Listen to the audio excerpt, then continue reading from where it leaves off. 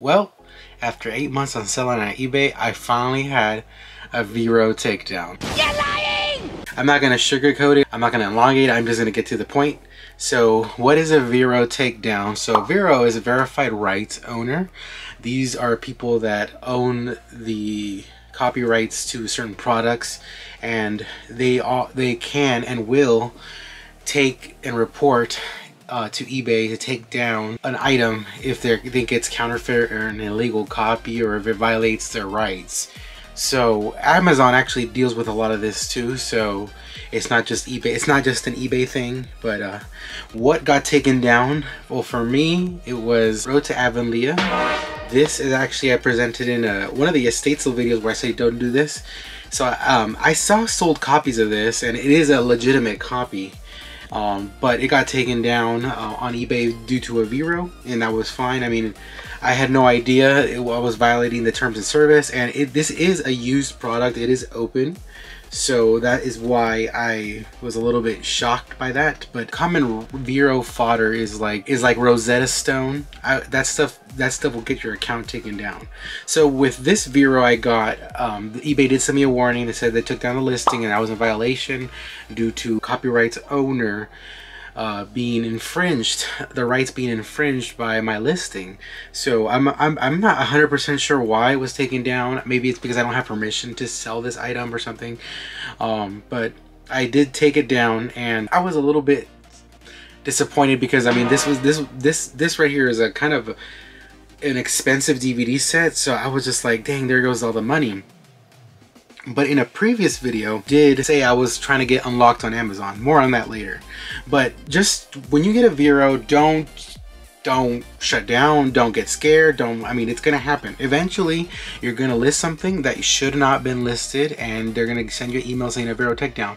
This is more like a slap on the wrist. It's not repercussion to your account or anything, so it, at least from my understanding, that's how it is. I didn't. I don't see any negative impact to my eBay account. I'm still selling like I normally do.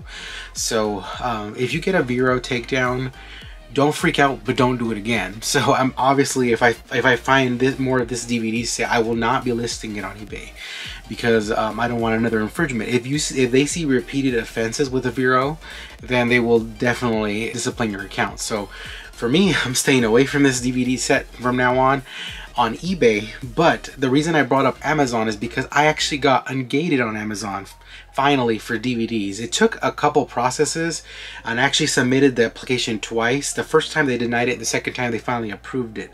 So on Amazon, I looked this up and um, on Amazon, it's worth about the same as it was on eBay. So on Amazon, I actually got permission from the rights owner to sell this. I got pre-approved, autoed in and then the, and then because I had permission to sell DVDs, I was able to list it. And today, I actually sold it on Amazon pretty fast too. So um, when one avenue closes, another one can possibly open. And in this one, I, I believe I'm not in violation of any Vero claim because I had permission from the rights owner to sell this on Amazon. So that's absolutely fantastic for me. And the key point I'm going to be focusing on next year is cross-listing a little bit more. So mainly this year, I just kind of did an experiment just with eBay, seeing what I can, how far I can get with eBay, and I've gotten pretty far.